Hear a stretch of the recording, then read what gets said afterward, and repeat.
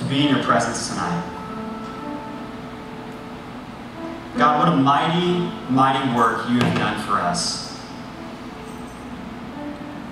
God, as we enter into this time where we gather around your word, I pray that you help us to set aside any distractions that we walked in with. I pray that you speak a truth to our hearts that only you can do. We love you and we praise you and we thank you for this time of worship. We pray all these things in Jesus' name. Amen. Well, my name is Russell Dixon, and I have the privilege of being our sports pastor here at Second Baptist. I oversee all of our adult sports ministry, which essentially that just means that I break up fights and intramural games that go on. That's really all that means. Uh, and I get the privilege of assisting with our children's sports ministry as well. And because a lot of our adult sports leagues are comprised of young singles, I also help with our singles ministry as well, in addition to some social media stuff. Uh, my fiance Liz Mitchell is our first through fifth children's Bible study director. Uh, she's definitely my better half, and I'm blessed beyond measure to have her. My dad has been on our staff for 34, 35 years now. Uh, a long time, he's ancient. So, uh, but uh, I can tell you, it has been the greatest joy of our family's lives to have the opportunity to be tethered to this community here at Second. And so it truly is a blessing and an honor to have you here uh, to worship with us tonight. I want to speak uh, tonight from uh, the book of Matthew. If you brought your Bibles, do me a favor and turn to the book of Matthew in chapter 11. If you didn't bring your Bibles, that's great because thanks to technology, we're going to have it on the screens for you. Uh, don't know where all of you are on your faith spectrum. I never want to assume that everyone already has a relationship with Christ. And so if you're doubting or searching or seeking, I want to say welcome. Uh, this is a good place for you to just figure out questions, to ask, to search, to seek. And so we're really glad that you're here. I want to give you a little bit of context about the book of, Matthew and then about chapter 11 in particular. So Matthew was written by a guy uh, by the name of, drumroll please, Matthew. So really shocking on that. He was also known as Levi. Now he was a tax collector, and these tax collectors were they were not very well liked. Uh, I know that sounds surprising or hard to believe, but they were not very well thought of. And so when Jesus encounters him, when he encounters Matthew, and he calls him to follow after him, there seems to be little or no hesitation on Matthew's part. He just seems to be like, okay, hey, come follow me. And Matthew's like, all right, let's go. And so, uh, coming up to our text, Matthew writes from the perspective, he's writing to a primarily a Jewish audience. So, the uh, overriding theme that he's going to have is this idea of fulfillment, that Jesus is in fact the fulfillment of prophecy. A lot of the Jewish culture had a hard time believing that Jesus was the Messiah and that he, in fact, was who he says he was. And so when Matthew writes, when you read it, uh, it's going to be from this idea that Jesus is the fulfillment of prophecy and is a king. Now, chapter 11 in particular, it opens up with John the Baptist, who was the preparer of the way for Jesus, and he had, in fact, been sent to prison during this time. And so even John the Baptist, who was the preparer of the way, had his own questions about Jesus. And so he sends some of his own followers to ask Jesus questions. Hey, who are you? What's going on? What do I do with my hands? I don't know. You know, they're just asking a lot of questions uh, of Jesus. And so Jesus answers those questions, obviously. And so as we approach this portion of text, we're going to read verses 20 through 30. And I've just got three practical truths that I wanted to share with you tonight, and I hope that it speaks to you uh, as we unpack it. So we're going to read verses 20 through 30 here. They should be on the screen uh, as we dive in. So Matthew 11, Verse 20 and following says, Then Jesus began to denounce the towns where he had done so many of his miracles, because they hadn't repented of their sins and turned to God. What sorrow awaits you, Chorazin and Bethsaida?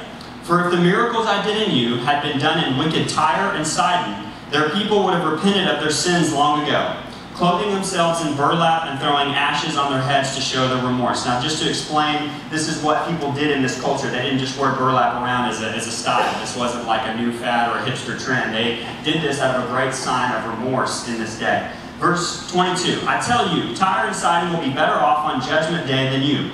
And you people of Capernaum, will you be honored in heaven? No, you will go down to the place of the dead. For if the miracles I did in you had been done in wicked Sodom, it would still be here today. I tell you, even Sodom will be better off on judgment day than you.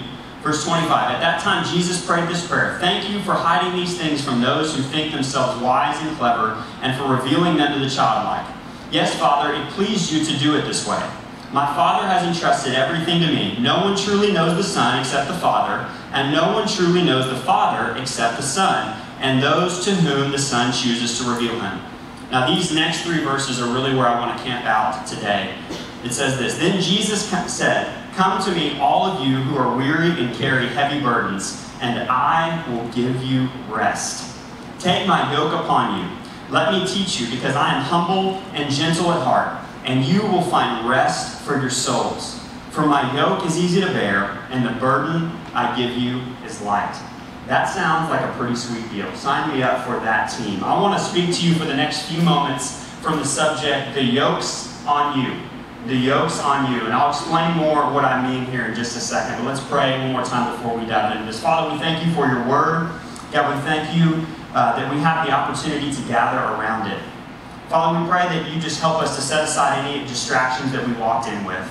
God, you know that I don't have a thing to say, but we know that you have much to say to us tonight.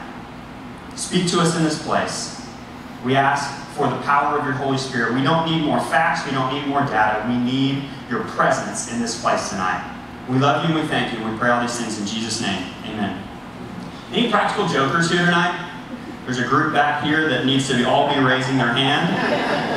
Um, I'm a huge fan of practical jokes, uh, and I have been the victim of some practical jokes in my day.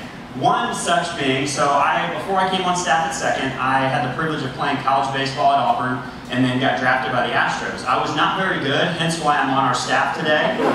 So um, I'm still dealing with it. Don't worry about it. I, I cry every night. It's not a big deal. So, um, but my first minor league season, I struggled. I had a good first half, but the second half I struggled a lot. And one of the particular areas that I struggled in was I struck out a lot. For those ladies that don't know baseball, that's not good. So, um, but so I struck out a lot, and so I went into my second full season. As every professional baseball player hopes, you hope to move up. You hope to move up the ladder. Well, I find out after having a good spring training that I was getting sent back to the same place that I went the year before.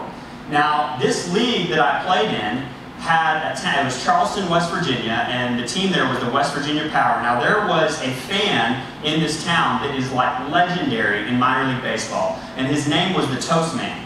And the reason why they called him the Toast Man was because every time an opposing player would come in and would strike out, he would drum up the entire stadium to say, You are toast! You are toast! You are toast! Pretty embarrassing if you're an opposing player. Well, of course, as fate would have it, I opened this second full season after having hoped to move up, and I'm starting back where I was the year before, in where else other than Charleston, West Virginia. And so I go in for my first at bat, and I'm thinking, okay, I'm going to have a good year. I'm going to show the Astros what's up. I'm going to hit a lot of home runs and prove them wrong. I'm going to move up. And I come up for my very first at bat, haven't swung a bat, mind you, haven't taken a swing, and all of a sudden I hear this faint roar in the stands. And I'm trying to figure out, I'm like, dude, I haven't even swung a bat. What's going on here? And I can't make out what they're saying. Sure enough, after a few minutes, I'm digging in and I hear the entire stadium of 10,000 people chanting, King of Toast! King of Toast! King of Toast! You see, he had done his homework and figured out that I had struggled the year before and had thus dubbed me the nickname, the King of Toast. But when it comes to the idea of practical jokes, I am convinced that the devil is the ultimate practical joker.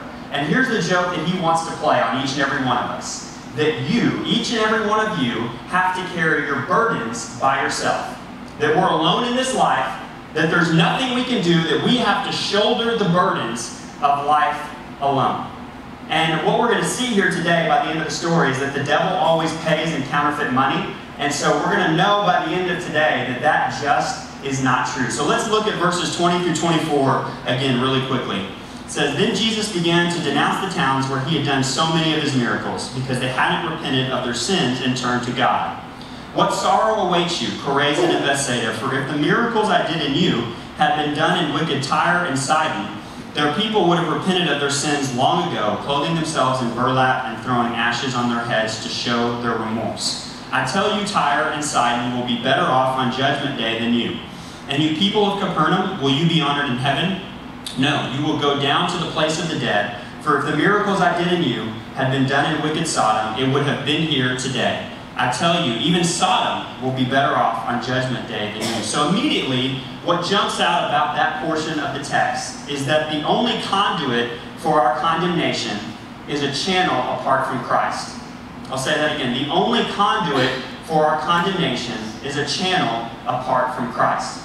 These people in these towns had seen Jesus do a bunch of miracles. They had seen him teach, they had seen him preach. As a matter of fact, this area of Chorazin, Bethsaida, and Capernaum was known as the Evangelical Triangle. It was where Jesus did most of his public ministry.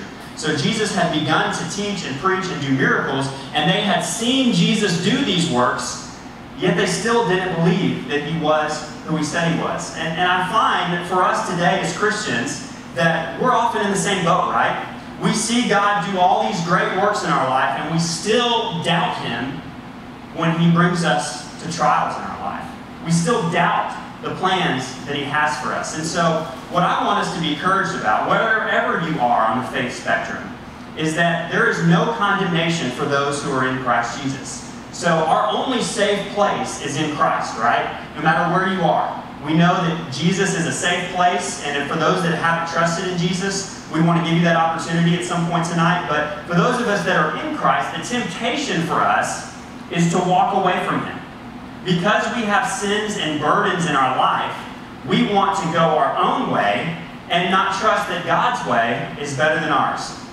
I read a story recently about shark divers, which is terrifying, by the way. Um, I don't know why on earth you would ever want a shark dive, but these shark divers, when they go down in the water, those cages that they make are virtually indestructible. So as long as the divers are inside that cage, they're safe.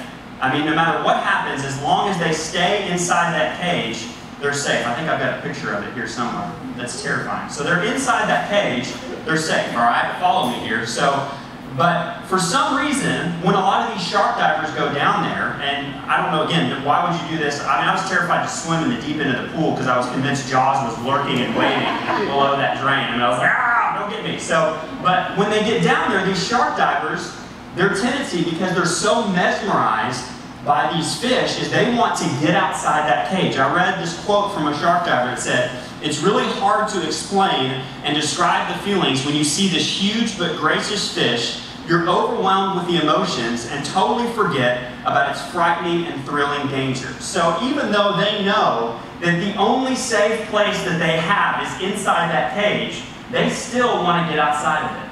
That applies to us today too. We know that the only safe place is within Jesus. Yet how many times are we guilty of wanting to walk away from Him? I think the application for us as Christians today, or wherever we are, if we're not in Christ, is to stay in the cage.